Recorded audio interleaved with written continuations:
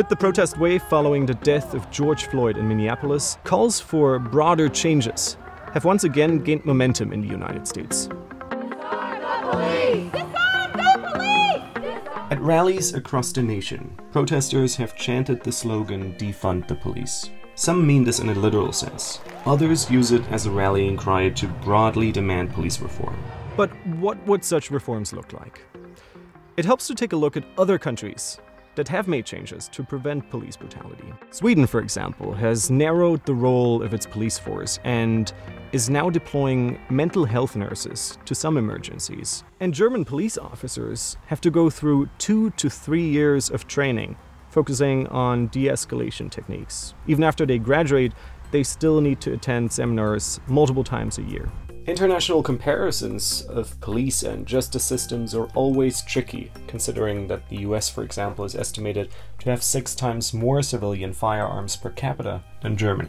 Like most countries, Germany is not immune to allegations of police brutality.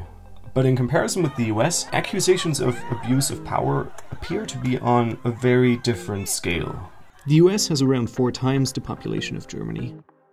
But in 2018, US officers shot and killed approximately 990 people, whereas German officers killed 11. That means over 20 times more people were shot and killed per capita in the US than in Germany. To understand why those differences exist, I traveled to a police training school in the eastern German state of Brandenburg. Rainer Grieger is the president of the school. When he saw the recent images of US protests on German TV, he responded to an email from the Obama Foundation about the protests over George Floyd's death, and he offered his advice on police reform.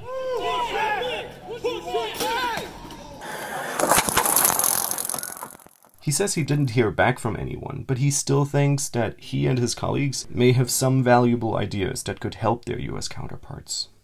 As I saw the, the video with uh, Mr. Floyd, um, my first thought was these colleagues are no police colleagues. These are murderers. In the moment in Germany, when we have some people uh, in our custody, we are responsible for the health of these people. We ask them, can you breathe? Do you have any pain? Although there is little data on the amount of de escalation training US officers receive, American public media found in a 2017 investigation that officers in most police departments in the state of Georgia had less than one hour of de escalation training over the previous five years. Until the last few years, Georgia did not have mandatory in service de escalation training for police. While in Germany, police officers spent more time learning de escalation techniques than how to shoot. In Brandenburg, the police wants to show me one of their routine exercises. In the simulation, a suspect is caught while trying to break into a car. Polizei Brandenburg, was machen Sie da? Was wollt ihr? Messer! Folgen Sie meinen Anweisungen! Folgen Sie meinen Anweisungen! Lassen Sie das Messer fallen! Then, a moment of relief. The suspect complies with their orders and drops his knife. The officers stop pointing their guns directly at him. That is the German approach. As soon as a criminal or someone who is about to be arrested de escalates, the police also de escalates in that sense.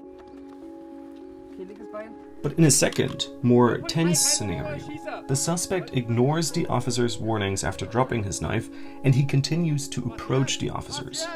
They have only seconds to decide does he have a second knife, maybe even a firearm? To de escalate the situation, the officers decide to put away their guns and arm themselves with a baton and pepper spray instead. The pepper spray is used. Now they're, they're um, putting his uh, arms on his back and telling him to put his his head on the side, which is really crucial because it means that they're able to see if something is wrong with him, if there are any problems, if he can't breathe or anything. Ah. Okay. Er kann noch antworten, dementsprechend können wir davon ausgehen, er ist nicht in diesem Überlebensmodus. Also nicht in den autonom geschützten Reserven, wo der Körper wirklich nur auf Überleben geht. Das sind für uns ganz wichtige äh, Signale, die wir versuchen immer zu berücksichtigen in unserem Vorgehen. Throughout the entire exercise, the officers explain to the suspect what they will do next in order to calm him. Watching from the sidelines, senior police officer Lux tells me that the aim is that the suspect feels as safe as possible.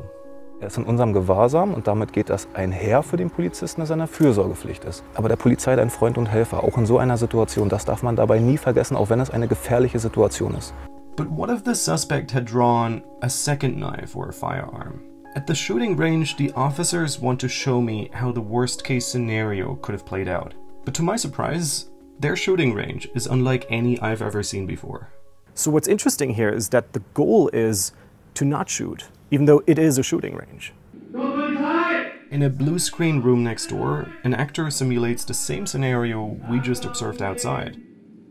But now, officers have real loaded firearms in their hands. If they decide to shoot the suspect, they only hit a virtual projection of an actor. But for the officers who train here, the experience can still be nerve wracking. Also der dargestellte Täter hört und sieht die eingesetzten Beamten und andersrum. Und so können wir hier unter sehr realistischen Bedingungen wirklich einsatznah trainieren, Verhaltensmuster, Verhaltensmuster ausprägen, automatisieren, um sie dann unter Stress äh, abzurufen. Wenn möglich mit dem gleichen Erfolg eben nicht die Schusswaffe zum Einsatz zu bringen. When a German officer does shoot and kill a suspect, however, the incident automatically triggers an investigation by an agency into whether that decision was warranted. Many of today's German police practices were developed after World War II, when the country's institutions were rebuilt to create a more robust separation of powers. The Brandenburg Police Training School itself used to house SS Nazi troops during World War II, and it's built right next to the former Sachsenhausen concentration camp, which is today memorial site. For the police training school's recruits, a visit to the camp is mandatory.